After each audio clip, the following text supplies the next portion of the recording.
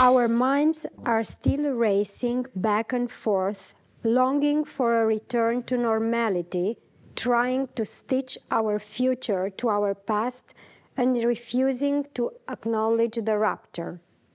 Historically, pandemics have forced humans to break with the past and imagine their world anew.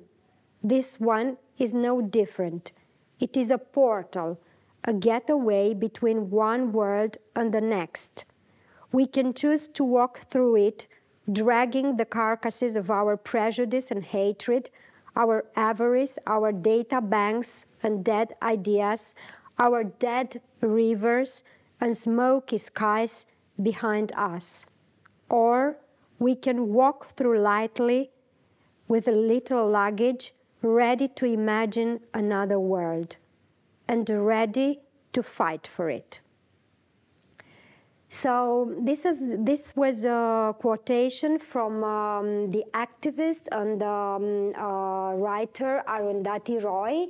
Arundhati Roy is uh, from India, and uh, what I thought uh, very uh, relevant and why I chose why I chose to um, to uh, begin um, today's talk about writing, I chose her because she talks about this rupture and about uh, what means this return to normality. And um, I guess um, uh, we, as writer, uh, as people who uh, work with uh, ideas and words, uh, should try to um, think deeply about this kind of normality we long for and what would mean to, to break it and to imagine new forms of writing and what these new forms could be, would be, in a time, let's call it of grief and loss that we integrated and that we would like to, um,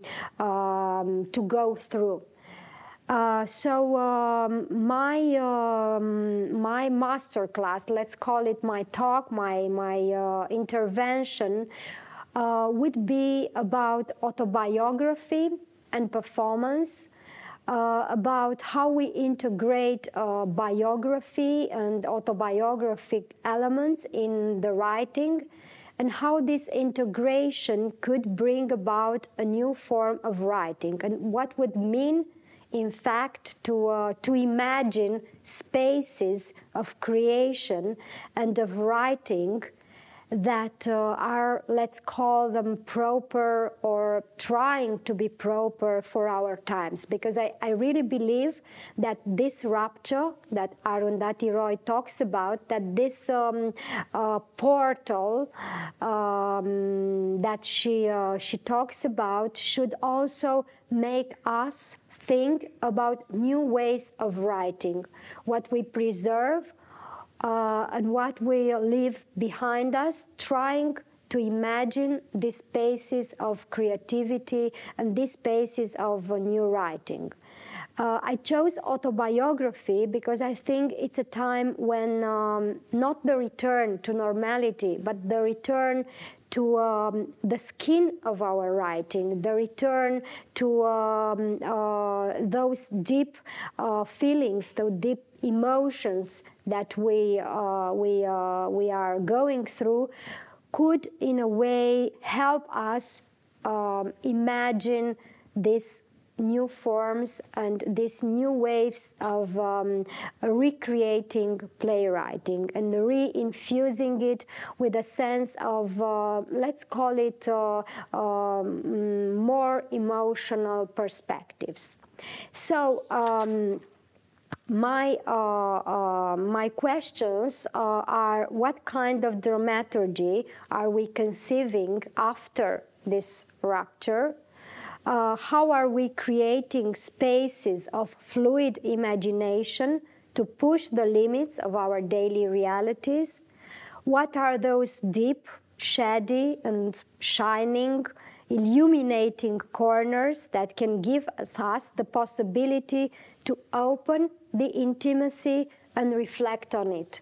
I guess in our in our um, creative practices, in our theater practices, we should or uh, we, uh, it would be maybe better to, to reconnect to uh, the language of intimacy, to uh, the language of the perme permeability of this intimacy, what would mean and how we could bring about uh, very deep emotions uh, to, uh, to these new audiences we are imagining together.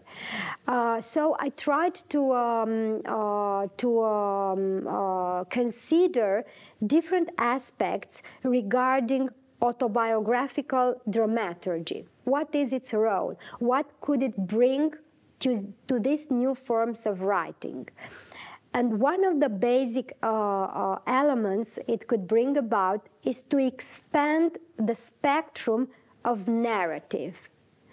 And I think it is, it is extremely important to expand the spectrum of narratives because expanding it could bring more narratives in focus and could, in a way, recreate spaces for different kinds of narratives, for marginal narratives, uh, for the narratives of those who are not, who do not appear always uh, on the scene, who are not considered as, let's call them, mainstream narratives. So expanding the spectrum of narratives I guess for me is um, mainly political response that theater can offer, giving in fact the possibility to extend the scene to what I called marginalized stories, to what I called stories that we do not hear all the time, stories that we do not um, represent all the times. Um, and in this respect, I would call uh, Deirdre Heddon. I also brought her book, which I consider extremely important, Autobiography and Performance.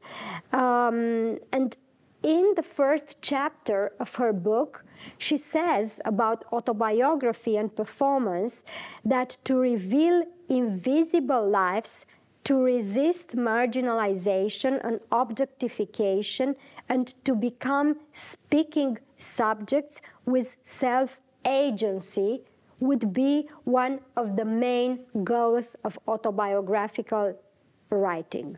So how in these very uh, uh, problematic times we could, we could reveal what uh, Deirdre Heddon calls invisible lives, um, resist marginalization and objectification, and create these spaces that expand the so-called known narratives.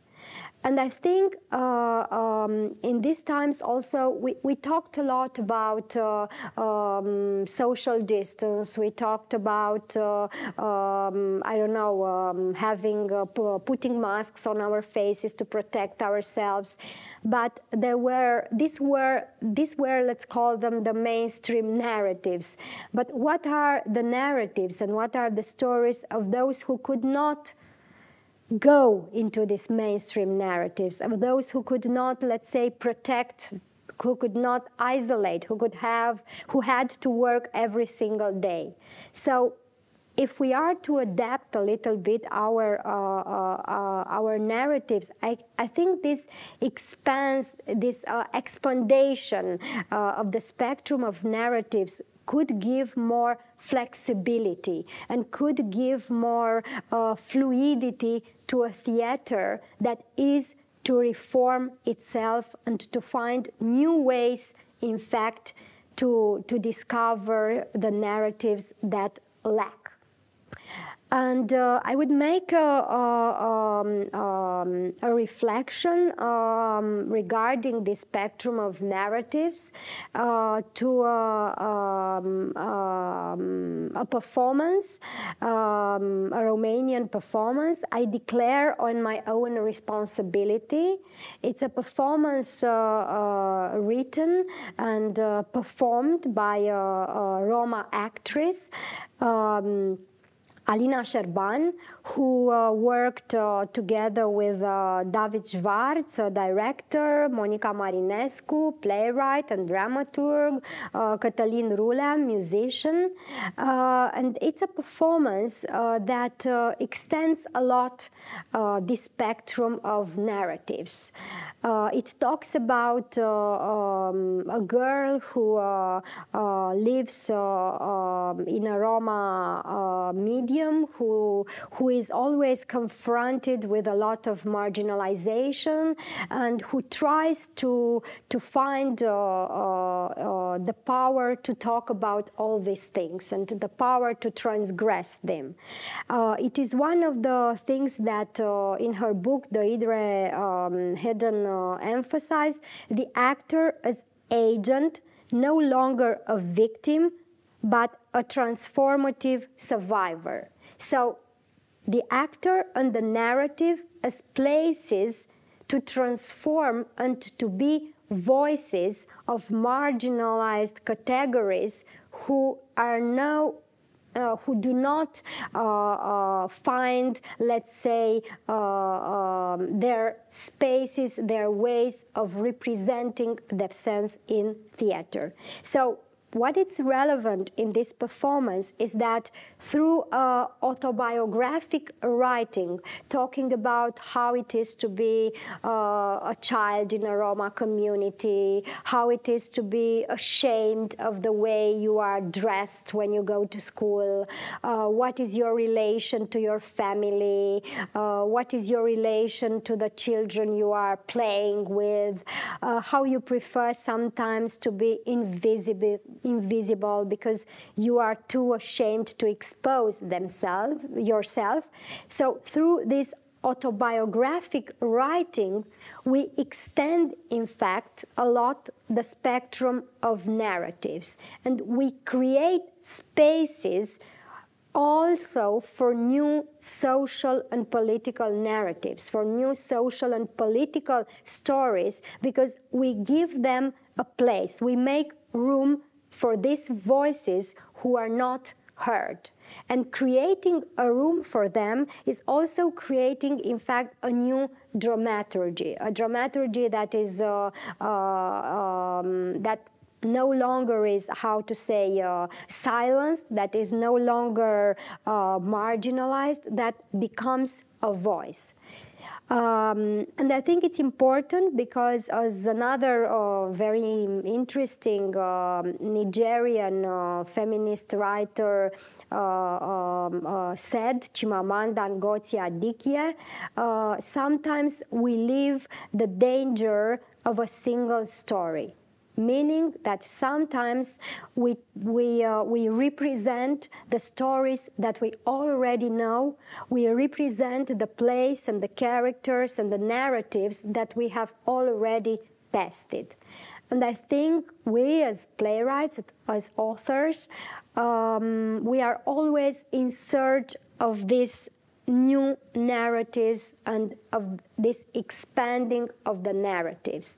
And in a way, it's very, it's very important if these narratives are created, are said, are represented by those who, um, who are very uh, related to their intimate core.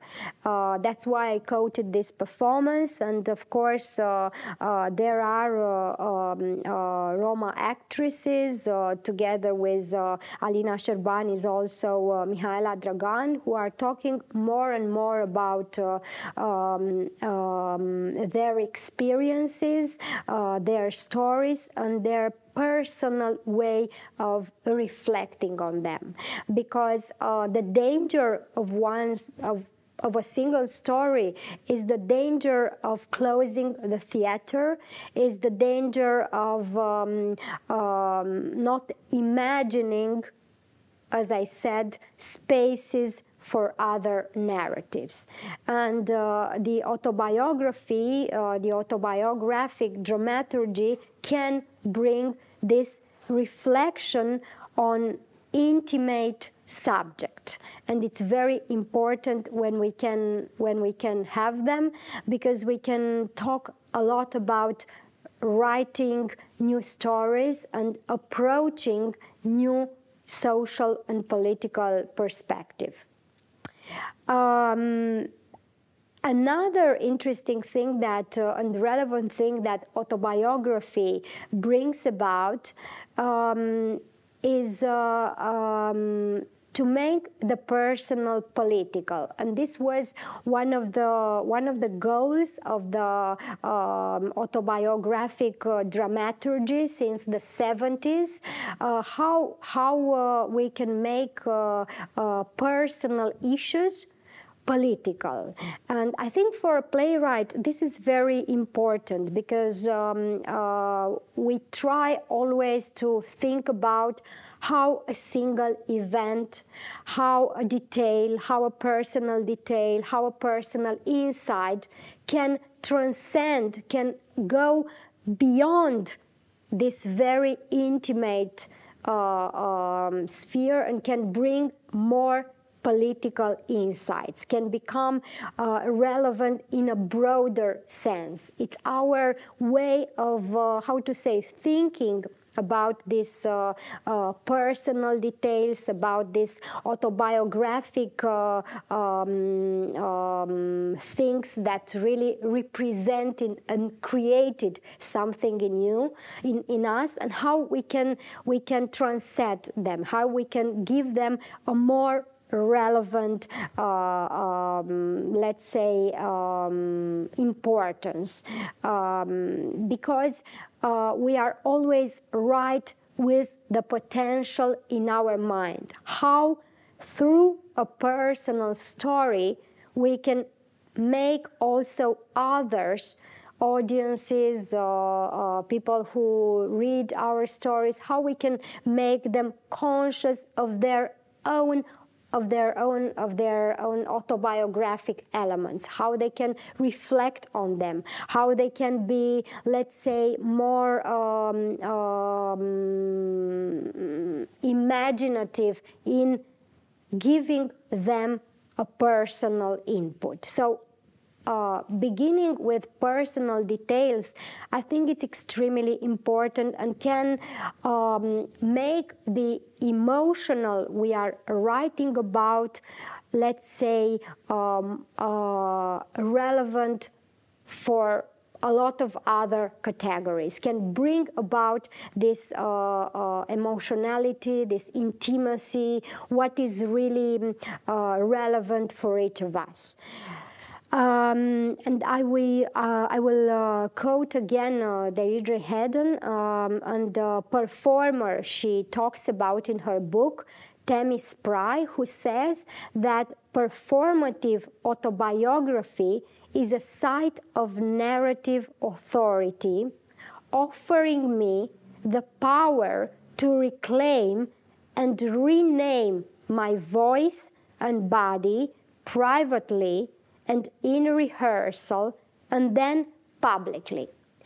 So I think it's this uh, uh, uh, process that enables me to speak the personally political in public. So to begin with uh, uh, a personal experience, with something that uh, um, is a limit experience that created again uh, a, a, rupture, something uh, very important, and to try to make it relevant also for the others, to try to, to find in it uh, uh, um, relevant aspects also for the others. I think it's important because these uh, uh, uh, personal issues are more and more, um, how to say, present in contemporary playwriting. And it's our thought, it's our imagination how to make them broader, how to make them political.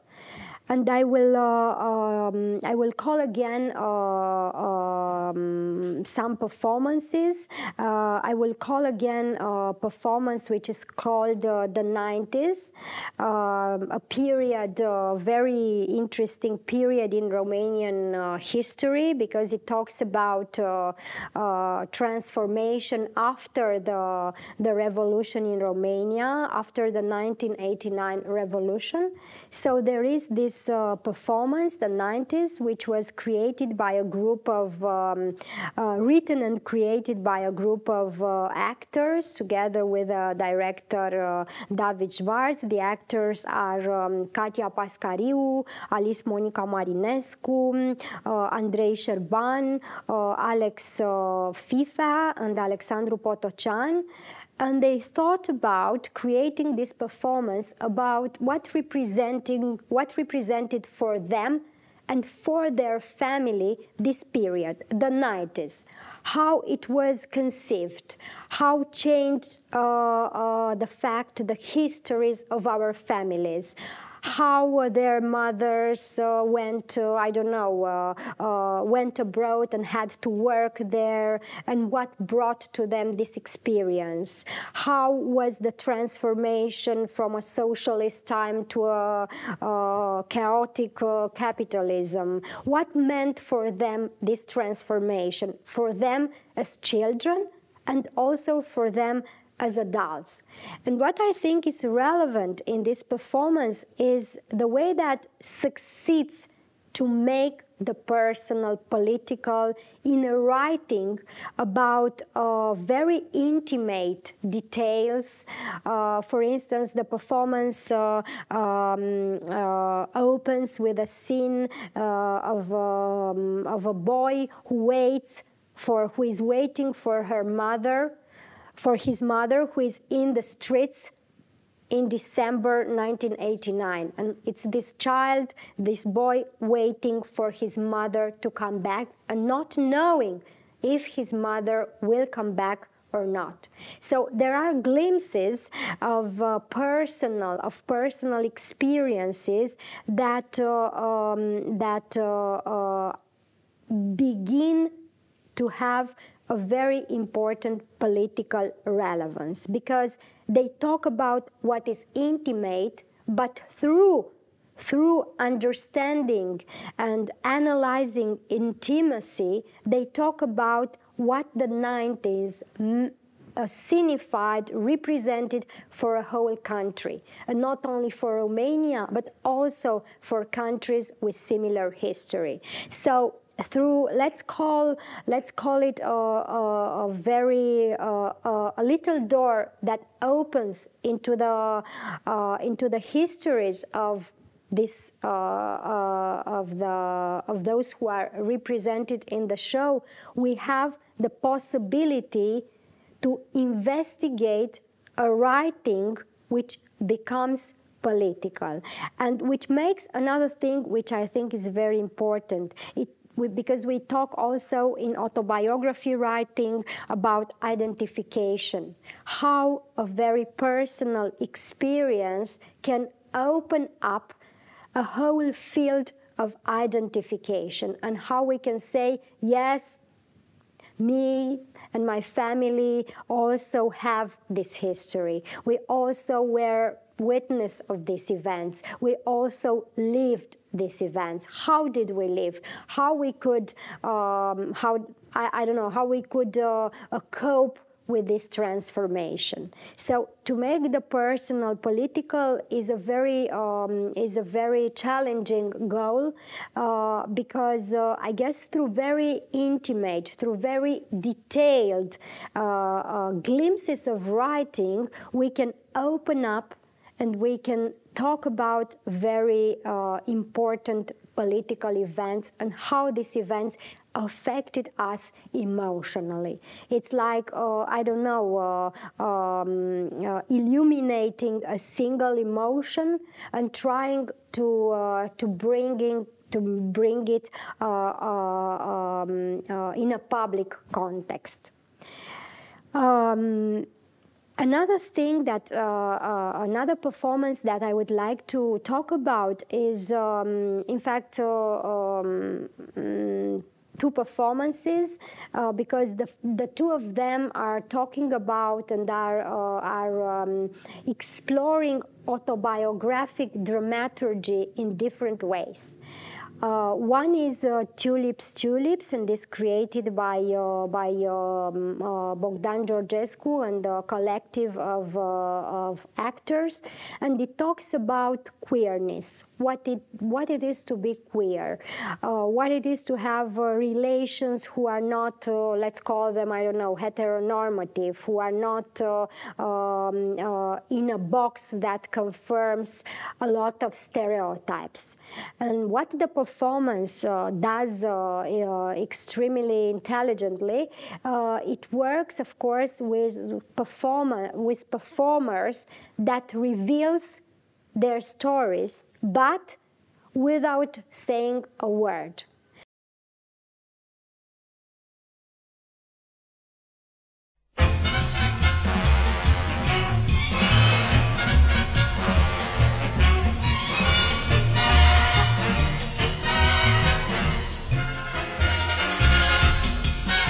la lere, la lere, frumoasele mele la lere, cât îndrăgesc aceste flori, cu chipurile multe culori.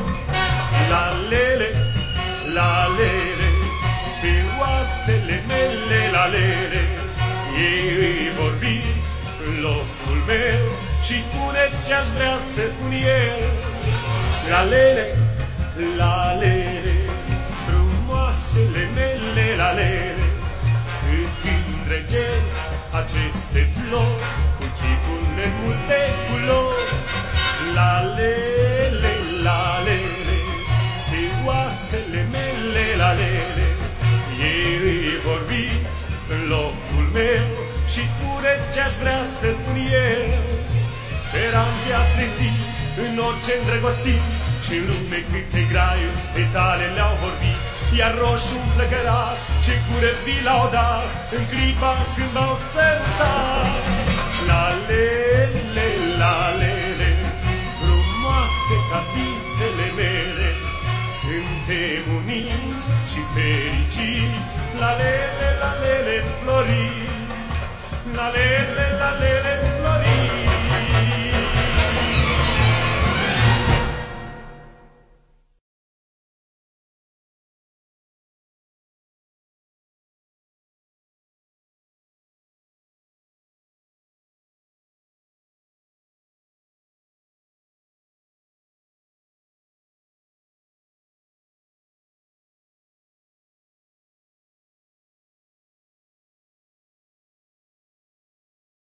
So it's more, it's a dramaturgy of the performance in the way it is created and in the way the stories, without saying any word, are linked one to another. We see, for instance, a performance um, um, which reveals uh, something about her trans experience, but this experience uh, uh, is is written. So is not performed, is not said. We see it written.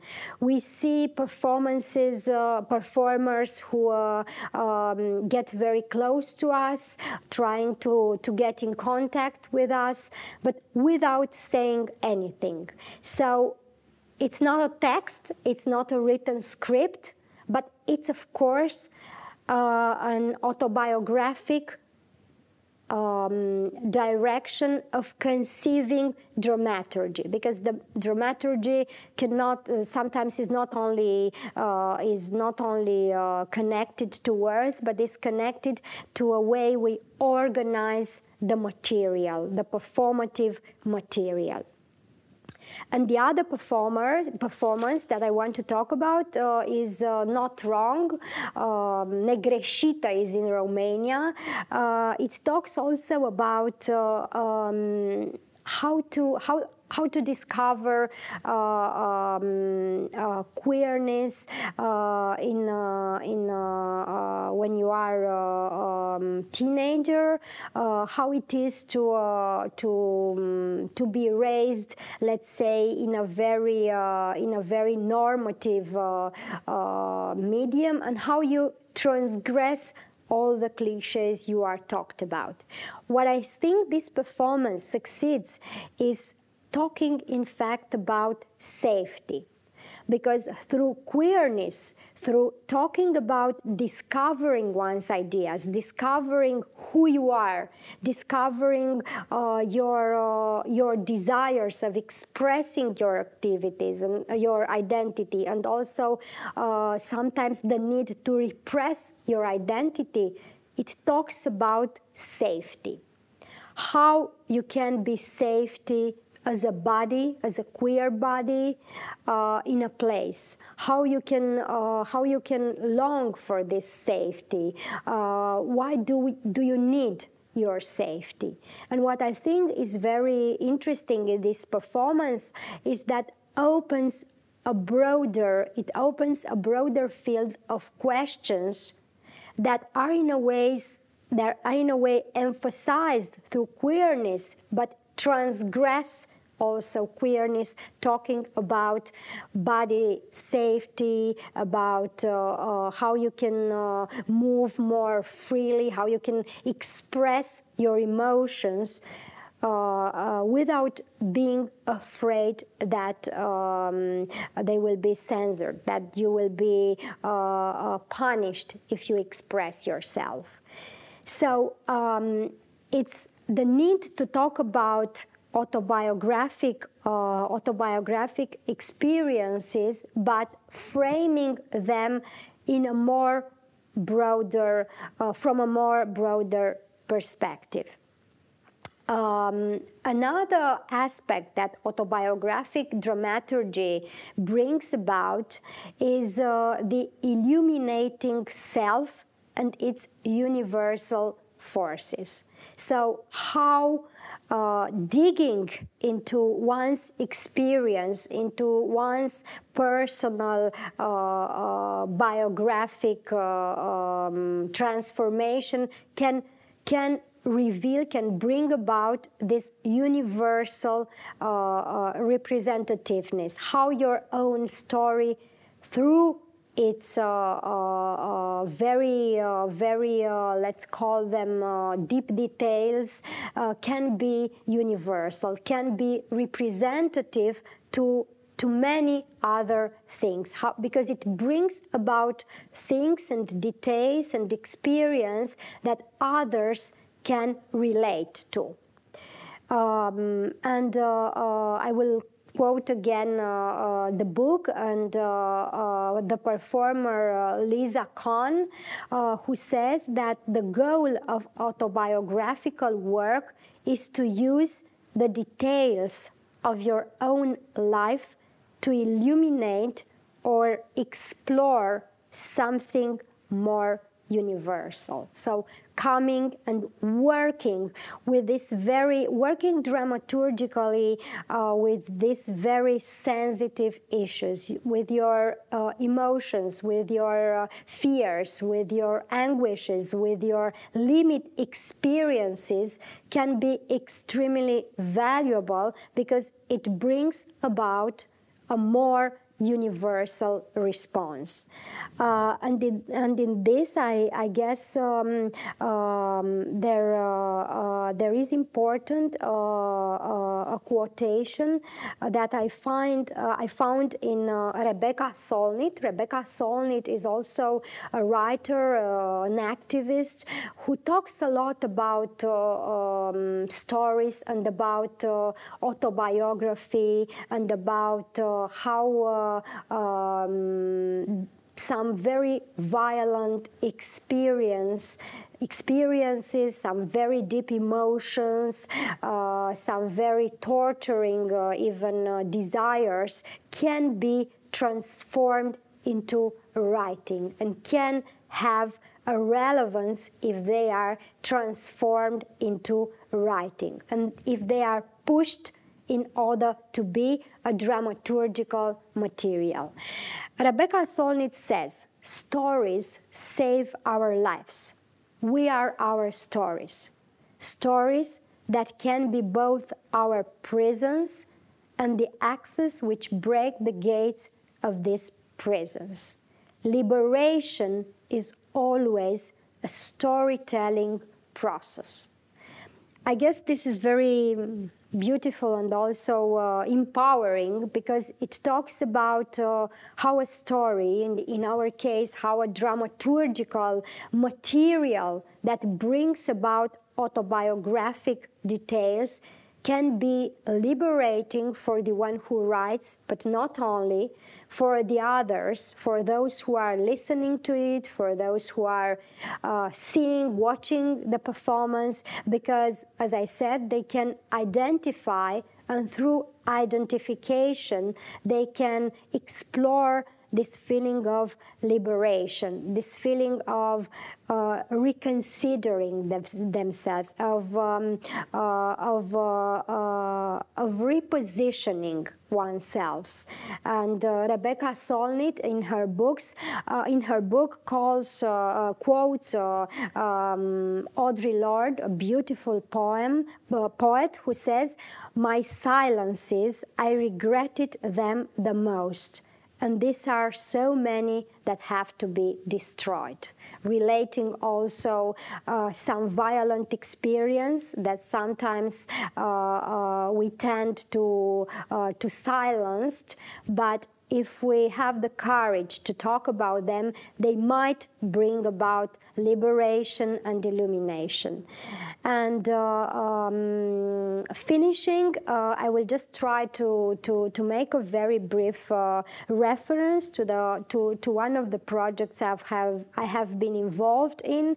It's a project called uh, uh, Fourth Age, uh, in which I'm involved with, with other artists.